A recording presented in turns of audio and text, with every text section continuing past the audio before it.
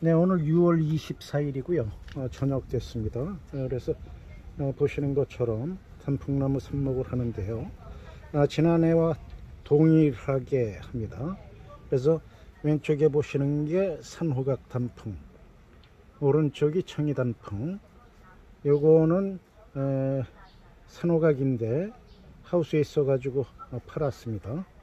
예, 그래서 이게 발근된 상태고요. 이게 결과물 될 겁니다 네, 되는 겁니다. 그러면은 뿌리가 어, 어느 정도 형성이 됐나 한번 보시겠습니다.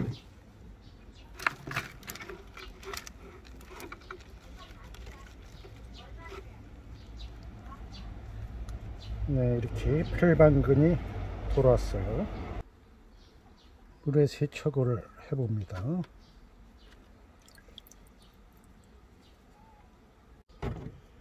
네 보시면 캐로스 좌우측으로 형성이 길게 되어 있으면서 어, 뿌리가 내렸어요. 그래서 어, 이런 식으로 어, 저와 동일하게 하시면 단풍도 삽목이 원활하게 됩니다. 아 이거 이걸 참 보여달라고 그러시는 분이 댓글에 있었어요 지난해. 네, 그래서 보여드립니다 2년생 모종 아, 봄에 옮기다가 아, 찍어 놓은 게 있는데 싶은데 어, 그게 혹시 발견이 되면 음, 그것도 넣어드리고요. 자 우선 삽수 이제 준비가 됐고요. 어, 삽수 상태가 좋아야지 됩니다. 응애 같은 게 없어야지 돼요. 이 뒷면에 그 빨갛게 응애가 붙어 있으면 삽수 자체가 시원찮아서 발근에 지대한 영향을 줍니다. 네, 그래서 어, 삽수가 일단 좋아야지 되고 그 다음에 또 중요한 것이 흙이 중요한데 비력기가 없으면 없을수록 삽목에는 아주 최적이 되는 겁니다. 물 빠짐도 좋으면 더 좋고요. 네, 그래서 저는 코코피트 준비를 했고요. 여러분들은 뭐 피트모스 그 다음에 마사토 뭐 강모래 어, 주변에서 어, 상토도 괜찮습니다. 약간 비분이 있어도 어, 그 발근에는 크게 지장은 없어요. 그 정도 비분이면 예, 그래서 이런 식으로 준비를 해 놨고요. 물을 한번 주어 놨습니다. 다음에 삽수를 만들 때 삽수를 조제할 때 도구도 좀 문제가 돼요. 그래서 가급적이면은 어, 그 가급적이면 날카로운 예, 날카로운 전지가위. 그렇지 않으면 날카로운 칼, 예, 그한 칼에 그 나갈 수 있는 어, 그 상처가 문드러지면서 나가면은 아주 안 좋습니다. 그래서 깨끗하게 절단이 될 수 있는 그런 도구들이 좋습니다. 예, 저는 음, 오늘은요. 오늘은 전지가위로 일단 자르고 그 다음에 그 예리한 칼로 다시 한번 코팅을 할 겁니다. 매끄럽게. 그래서 3,000원짜리 다이소 그 10개 교체 칼날까지 들어있는 요 칼을 어, 가지고 왔어요. 어, 요거 아주 제가 써보니까 참 어, 좋습니다. 네 간단하게 간단하게 삽수 조제하는 요령만 보여드립니다. 그래서 입자루가 있으면 입자루 부근에서 캐러스 형성 물질이 가장 많다고 그랬어요. 캐러스 형성 물질은 상초 유압을 시킵니다. 네, 그래서 상초 유압이 되면서 상처 유압된 곳에서부터 발근이 되는 거예요. 아, 근데 그게 입자로 이, 예, 그 부근에 가장 많다고 그랬으니까 입자루의 아래쪽을 비스듬하게 코팅을 해 주십시오. 비스듬하게 코팅을 하는 이유는 꼽을 때 어, 기스가 안 나게 잘 꼽히게 하는 그런 이유도 있고 절단면이 넓으면 그만큼 뿌리 발근도 쉽게 된다 뭐 그런 뜻도 있습니다. 아, 근데 그거보다는 아, 그냥 꽂기 편한 거니까. 예, 저는 이 절단면을 다시 한번 칼로 예리한 칼로 커팅을 해줍니다. 깨끗하게. 네. 이런 식으로 커팅을 했어요. 자그 다음에 세네마디 하겠습니다. 옛날 분들은 약 30cm 정도들 하셨는데 요즘은 음, 이 삽목 기술들이 아주 어, 그 대단들 하니까 뭐 30cm까지 할 필요는 없고요. 그 다음에 장마철이니까 이 하엽을 안 타도 됩니다. 사실은 하엽을 안 타도 되고 수분 증산이 없으니까요. 그 다음에 꽂는 게 불편하시다면 이렇게 못듬어 가지고 꼽으시면 되고요.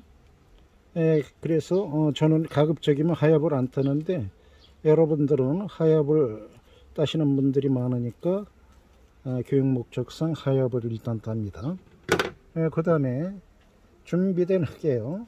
준비된 흙에 어, 이렇게 흙이 흙이 단단할 때는 어, 이렇게 젓가락 같은 걸로 구멍을 낸 다음에 밀어 넣으시면 돼요. 아, 그 다음에 어, 지금은 장마철이라 수분 증산이 거의 없으니까 괜찮지만 장마철이 아닌 경우에는 에, 그 수분 증산이 심하니까 습도 조절을 또 못 하시는 분들이 있어요. 습도 조절이 원활하게 안 되시는 분들은 이걸 비스듬히해서 길게 꼽으시면 돼요. 자, 비스듬히 해가지고요. 어, 보시니까 비스듬히해서 이 정도까지 꼽아 놓으시면 이 정도까지 꼽아 놓으시면 땅 속에 가서 있으니까 땅 속에 있는 건 수분 증산이 안 되죠. 예, 그래서 예, 인위적으로 수분 예, 그 습도 조절을 못 하시는 분들은 깊게 꼽으셔도 어, 그것도 하나의 방법인데 저는 2, 3cm만 딱 꼽습니다. 어, 발근이 깊다고 해서 어, 꼭 발근이 잘 되는 게 아니에요. 그래서 네, 하나 더 보겠습니다. 그래서 입자루의 아랫부분을 저는 다시 한번 커팅을 합니다. 어, 이렇게 깨끗하게 커팅이 됐고요. 그 다음에 저 같은 경우에는 그대로 하엽을 둔다 그랬어요. 여러분들은 뭐 어, 불편하시면 어, 떼어내시고요. 그 다음에 젓가락으로 구멍을 내서 2, 3cm 끼워주면 됩니다. 네, 이런 식으로 아주 간단합니다. 그렇죠? 삽수를 다 꼽았습니다. 그 다음 번째가 이제 그 갖고 계신 살균제가 있으면 살균제를 쓰십시오 하는 얘기예요. 밝은제는 안 써도 되지만 살균제는 쓰시는 게 좋습니다. 그래서 살균제 그 내성 때문에 음, 부패균 같은 게 어, 잡혀 있을 때 그때 캐로스 형성이 되면은 시간을 엄청 보니까요. 어, 그래서 어, 저는 집에 있는 거는 톱신 M을 쓰고 있습니다. 그 다음에 농장에는 대량으로 할 때는 포리옥신 쓰고 있고요. 그래서 갖고 계신 아무거나 괜찮습니다. 살균제를 쓰시는 걸 권해드리고요.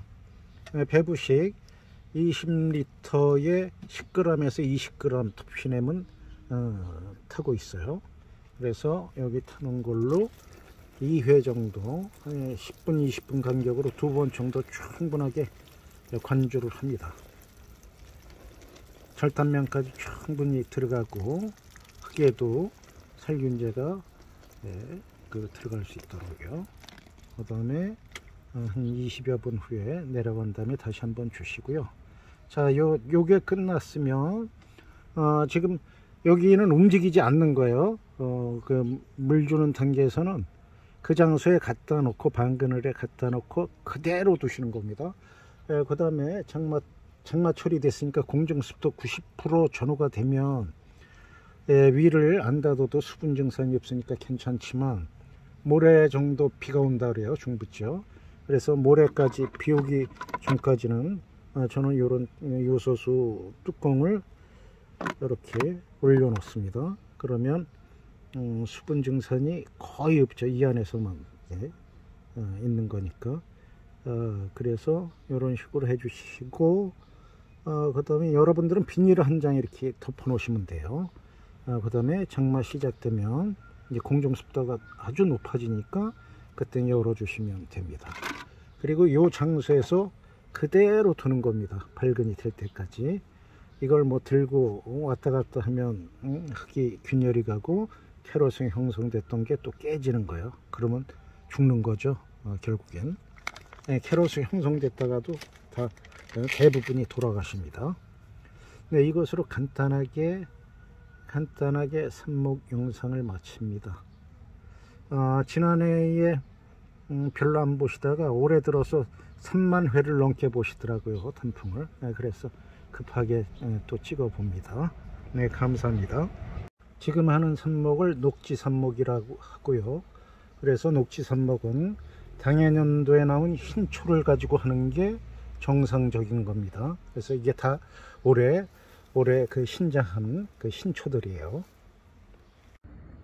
네, 2년 전에 삽목했던 거 한 주를 네, 옮기느라고 캐봤어요. 그래서 삽보도는 좀 작습니다. 음, 1m가 삽이니까 한 70 정도 되겠네, 70.